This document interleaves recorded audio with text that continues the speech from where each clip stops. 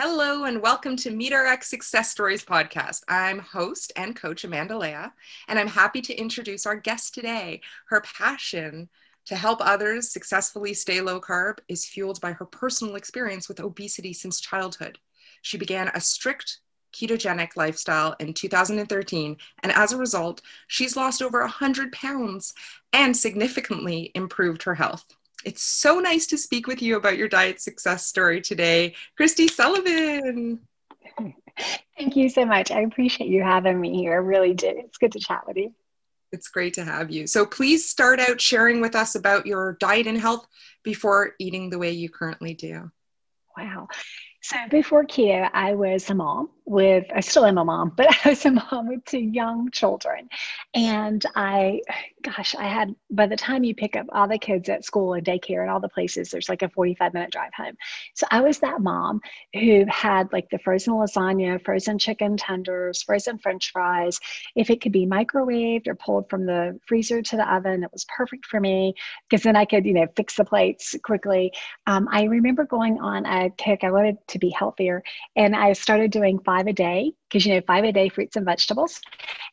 And so sometimes i would even do like you know um, canned pears or canned peaches. That was part of my five a day. And i was like patting myself on the back thinking that i was being the good mom for doing those kinds of things.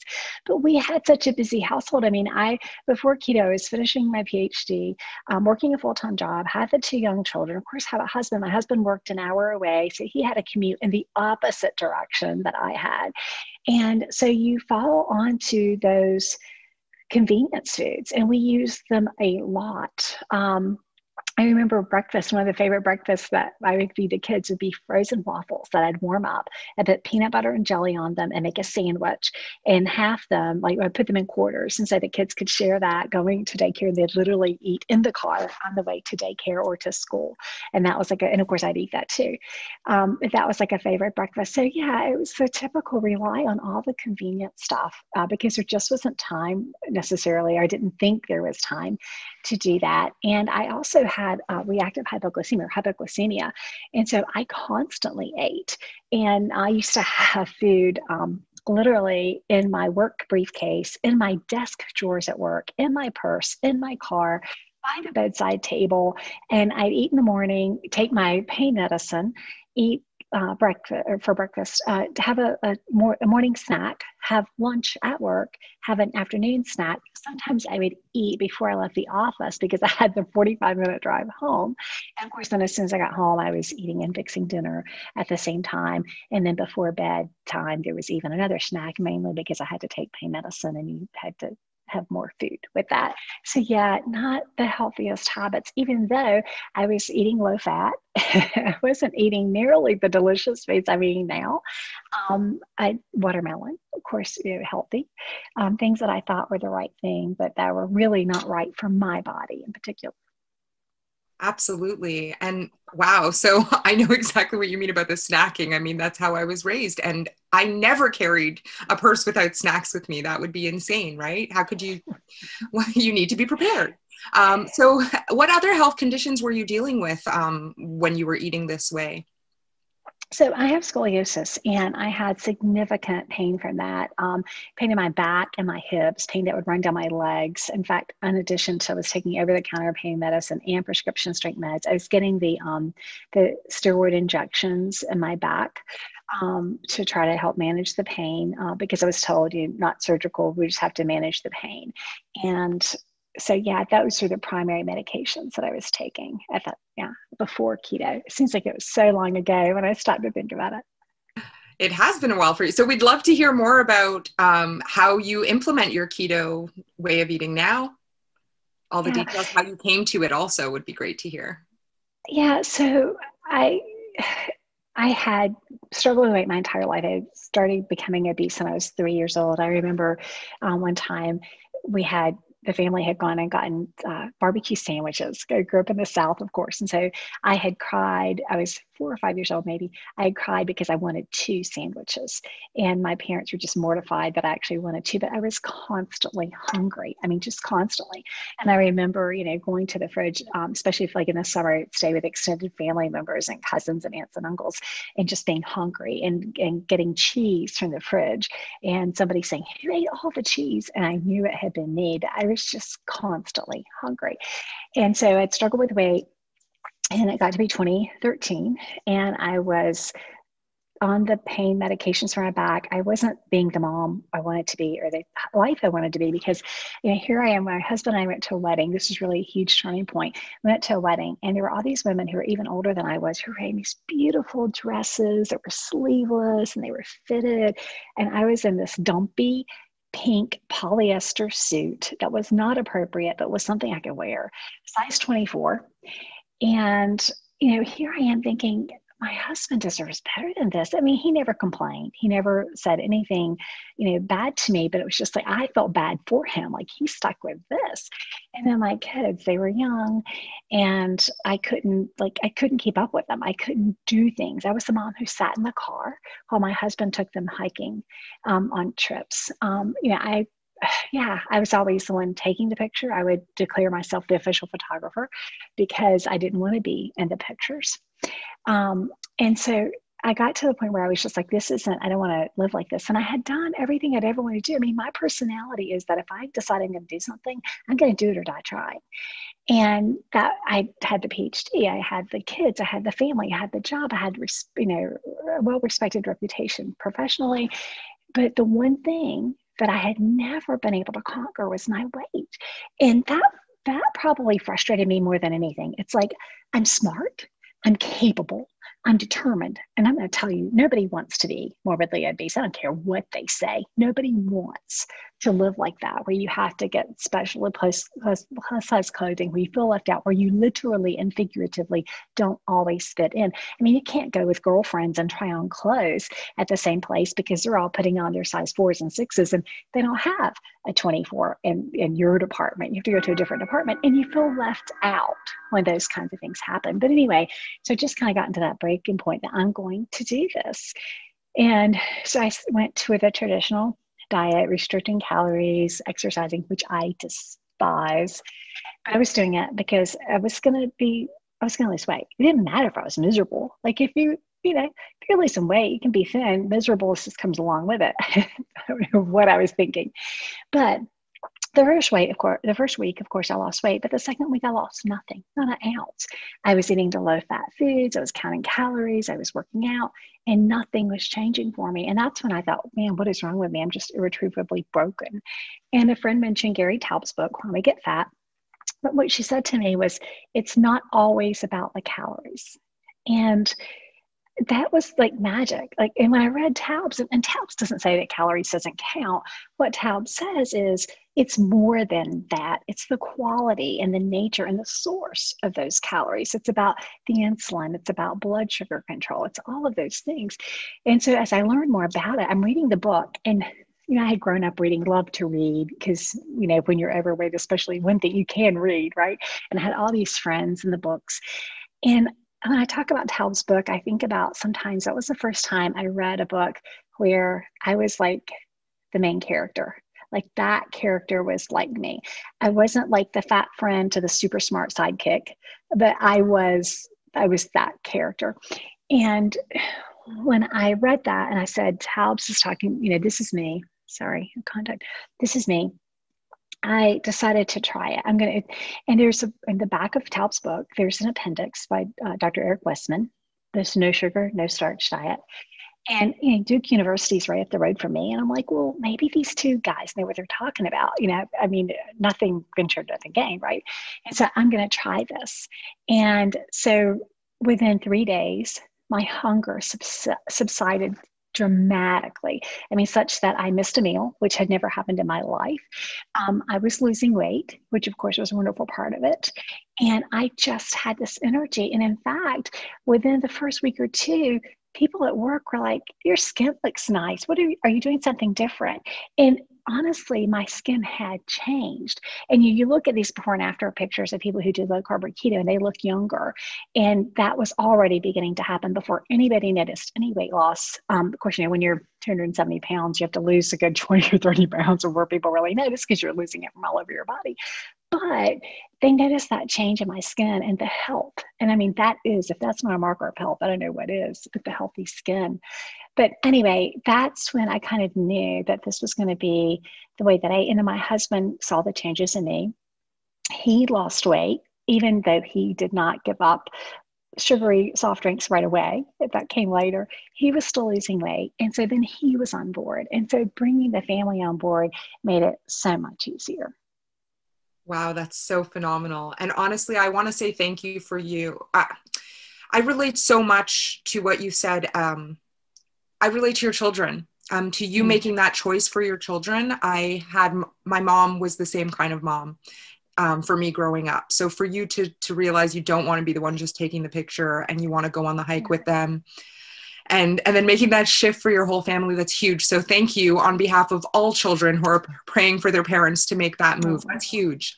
Um, so we'd love to hear more about about what do you eat now? So what does eating look like for you and and the frequency and and do you have difficulty with this way of eating um, oh gosh, no. The only thing, no, there's not. The only thing difficult is like there's too much, too much to make in too little time. I've said that I hope I live long enough to make all the things that I want to make. Right? I'm afraid I'm on borrowed time. No, um, I think what makes this way of eating easy is because I'm not hungry, because I do feel satisfied, um, and because I'm happy with the way I look and feel. I mean, that's huge. Um, I can get up in the morning. If I'm not hungry, I don't eat. Um, I'll drink water. I wake up thirsty. And so I'll drink water. And then ideally, for, I start to get hungry around 10 or noon or so. And again, it just depends on my schedule. But what's amazing to me, we were talking about, you know, always having food. What's amazing to me is that I no longer have to be surrounded by food. And I remember the first time I went on a trip after I'd been keto for a while. Um, it was like a work trip. And normally I would pack all kinds of food. And so I was starting to get really stressed about it. And I did pack, you know, all the things I would need. And I realized like midway through the trip, I haven't eaten any of the stuff. And it took a while. I mean, it probably took me two years, but I actually can go on a trip now and take nothing. Like I'll fly to Stockholm for a diet doctor for work there and not take any food because I've learned now there's going to be something somewhere, even if it's like a bag of nuts or a bunless burger. Like I'm not going you know, to the desert where there's like no, no, source of food whatsoever, I can't survive. You know, I've got to have water. I, in fact, if I pack anything, I pack water to bring with me. But that was huge for me, that freedom. And what we've noticed with our family, when we go on vacations, you know, it used to be that family vacations were all like planned around the meals like you've got to be at this stop at this time and you're going to have breakfast at this time and then you have to leave this place so you can get to dinner. And it's so amazing when my family travels now. What we tend to do and we haven't traveled in a while because of covid but the last two week trip we went on what we noticed was that we tend to eat like a, more of a brunch kind of thing. And then we would eat usually like a an early dinner okay because we get hungry and that was it. And so we were maybe eating out two meals a day and sometimes we'd eat that first meal like in the hotel or house or wherever we were staying and then we would eat the one meal out. Do you know how much money a family of four saves uh, when they're not eating out. So not just money, but time. So we were saving time and money. Um, so it's yeah, it's it's so much better. We laugh like our vacations are so much better now because we're not constantly thinking about where are we going to eat or what are we going to eat or what time do we have to be there. Um, so it's been hugely, hugely different. Yeah, it's freeing. It's I, that's the only way I can describe it. When you don't have to travel with a purse full of food or a suitcase full of food, there's a lot more freedom involved brilliant. Absolutely. Absolutely. That's freedom. So that's definitely one way this way of eating has impacted your life now for sure and your family's life. Are there any other ways that you would say i mean your health changes that you would want to share about this way of so this keto is it more of a um an animal based keto? I mean i guess it it would be with the healthy fats and stuff but how do you I, we'd love to hear a little bit more about how you eat but also about the impacts of this way of eating on your health Well, okay, so I am on no pain medicine now, none, not prescription state, not I mean over the counter, not prescription, no pain meds. And this is from, you know, gosh, eight years ago, 10 years ago, I was told by a neurosurgeon to build the house so that it's handicap accessible because I would probably be in a wheelchair at this point. And so, yeah, so no medication for pain for my back, which is wonderful. Um, so, yeah, the energy, I mean, the things that I want to do is like through, it's so different now. Like I'm older, but I act a lot younger in a lot of ways. Um, it's impacted my life too, just sharing my story with others. I ended up retiring from a full time job in higher education, where I have a PhD, to doing this kind of full time, like helping people through writing books, through my website, through my Facebook group, through Diet Doctor. And so I'm kind of spreading that word, going, look, if I can do this, anybody can do this. You can do it. It's easy and it tastes amazing. And I think the thing that people get hung up on sometimes is they think, oh, I, I don't want to cook or I don't have time to cook. And there's, I have this recipe, it's so, so simple. You basically put cream in a skillet, right? A little heavy cream, let it start simmering, crack your eggs in the heavy cream. And you can put like bacon, ham, what if you want meats, whatever, put that in there too. Let it cook. The eggs, of course, are sunny side up, right? You can add some thyme or whatever herbs if you want and when it simmers down and the eggs get like the perfect doneness, like they're still sunny side up, take it off the heat. And I'll be honest. Oh, you can also sprinkle some cheese if you want a little Parmesan or something. It's just delicious. I've eaten this out of the skillet as much as I've eaten it on a plate. It is so delicious because that cream simmers down It makes this thick, rich sauce. And then those eggs, and you can break them open if you've got some bacon in there or you've got ham. It's a complete meal. It's absolutely amazing one egg is enough. Like I usually put two, and every time I do that, I'm like, why did I do two eggs? Like this is so filling. Um, but it is delicious. And if you don't want to use so much cream, you can mix a little cream with some broth and cook it in that broth. But it is delicious and it's so easy. Um, omelets are super easily. We do pre-cooked bacon. My husband would not, he would not survive without pre-cooked bacon. And he'll grab a handful um, like literally it's like a bacon bouquet. He'll grab a handful of, of bacon, you know, seven, eight, nine pieces out in the morning, and he literally would eat that uh, going out the door with a cup of coffee on his his hour commute. So yeah, um, we do uh, because I write cookbooks. Um, I do some more I don't know, fancy stuff, I guess. I hate to use that word fancy stuff. I do make desserts. I have a lot of fun making um, imitation foods. And I know that's not something that's really part of the carnivore carnivore world, but we make ice creams. And part of it for me doing that is so that the kids are not deprived. And so chocolate ice cream, cookie dough ice cream, peanut butter cup ice cream. I do make peanut butter cup candies. I make marshmallows. I make caramel. I make um, oh gosh, the little uh, turtles, the caramel pecan uh, cluster things.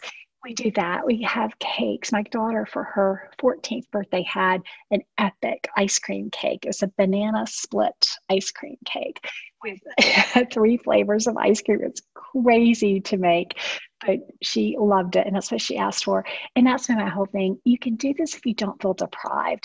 And I think in the beginning, I, I needed those desserts more because I did feel somewhat deprived, especially holidays and celebrations, because you know you've got to have food. But as we've done this longer, that's not so important to me anymore. But honestly, when I say I cook fancy, there are times when I'm experimenting with a recipe. But nine times out of ten, if you ask my family, we'll do seared steak, maybe some roasted broccoli with it, and broccoli that I've just put on a, a sheet pan and put in the oven until it turns brown.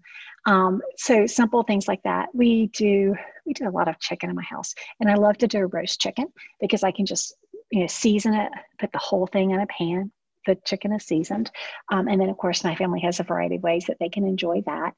Generally, I eat about two meals per day, and honestly, breakfast is can be sometimes it's a creamy skillet eggs and sometimes it's just like leftovers. So um, you know if we had fajitas for dinner that maybe fajitas for breakfast. I'm a big proponent of leftovers.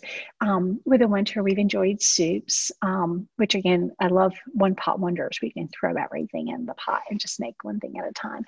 And i would say honestly we i say eat kind of normal but I don't know. We don't eat the drive-through stuff necessarily. We don't eat the fast food stuff that a lot of families do eat, but we do eat pizza.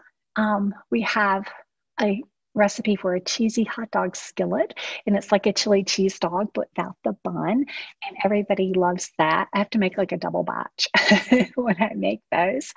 Um, and so, yeah, we're eating. My daughter called me from school one time and wanted Milanos. And I kind of knew, I guessed what had happened. And I said, Were your friends eating Milano cookies? And she said, Yes. And so by that weekend, I had figured out how to make Milanos, and they're pain to make, but it's that same kind of thing, like no deprivation. Like I don't want them to not have um, the foods that they that they want and that their friends are having. Again, I just need to say thank you because you know. Uh, definitely as a carnivore a lot of us have found that you know at first you might think you're going to miss those foods. So keto foods would be the snacks that we would go to most carnivores if you're going to snack.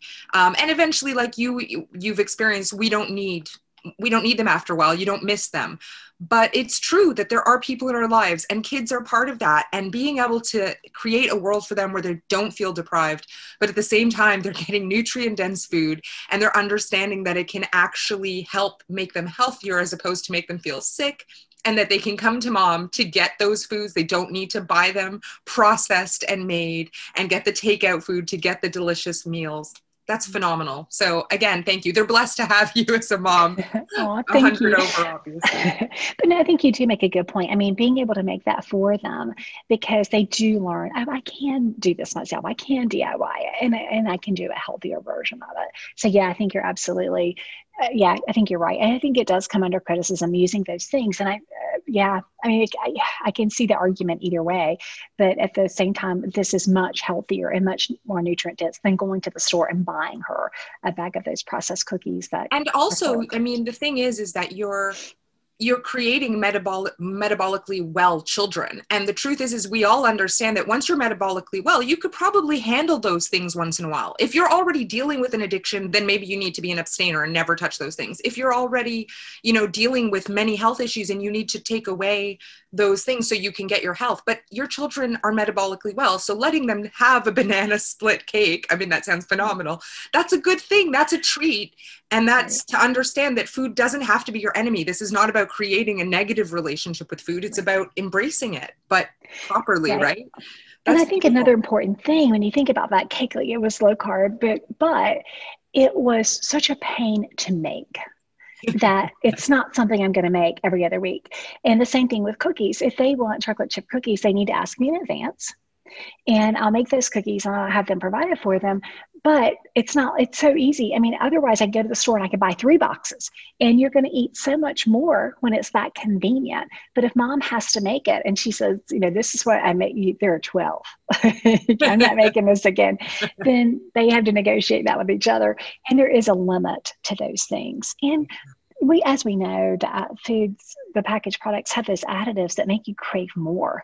And so it's not going for me, my family it's not going to be one yeah that bliss factor that they've been working on getting that perfect uh, savory sweet balance that gets us all addicted. Yeah. but like you touched on that cream and that dairy that's that's nature's bliss bliss factor right there. So i mean it's been so super hearing all about your inspiring diet success story Kristie. Um, is there anything that we haven't covered that about your experience that you'd like to share with our listeners to consider before we let you go um, I would just encourage them to share their own stories because you never know who you're going to inspire. Um, you know, I didn't know kind of your background until we started talking a bit about, you know, how that resonated with your mom. And it's so amazing. Like, I honestly always tell people I'm nothing special. I'm just that that overweight person who struggled who actually was able to figure it out. And by sharing that and letting other people hear that story then they don't have to struggle. And that's been my biggest goal is that, that the biggest message is you don't have to struggle. And honestly it's easier than you think. And i always tell people give it two weeks. Just give me two full weeks of completely 100% on plan. And then you tell me at the end of those two weeks how you feel. And usually people, they're so blown away that, um, that the two weeks isn't nearly enough.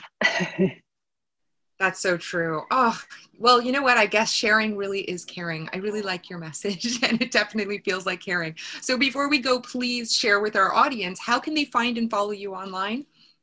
Oh, um, so I am at cookingketowithkristie.com. That's the website. It's not, I'm working on it. It's a work in progress. You can also find me at dietdoctor.com. I'm a part of the Diet Doctor team, creating recipes, writing articles. I have a five weeks of keto with Kristie if you wanted to give that a try as part of the Diet Doctor program.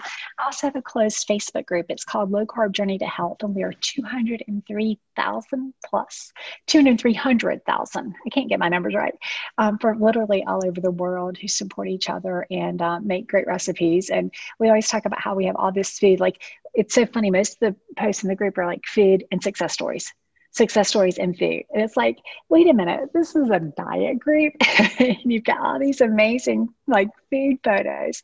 And then you've got people who are losing weight and, and posting their success and how their lives have changed with their loved ones. And that's the most powerful thing. I never, ever, I've been helping people for six or seven years. Never, ever get tired of a post that begins with, you know, my hemoglobin A1C was 10.4 and now it's a 5.3. And I've been using your recipes and thank you so much. I mean, never get tired because that is adding life to their um, to their years or years to their life. It's it's literally um, giving them more time with their loved ones. So it's really powerful. The ripples you're causing are enormous. So again, thank we, you, thank you. Oh, please. Thank you, and we can all do that. Yes. So Absolutely. I feel totally empowered. Um, having spoken to you, I'm certain that more people feel empowered connecting with you. So thank you so much. Thank you for sharing your diet success story with us today. It's been such a pleasure, Kristie Sullivan. Thank you.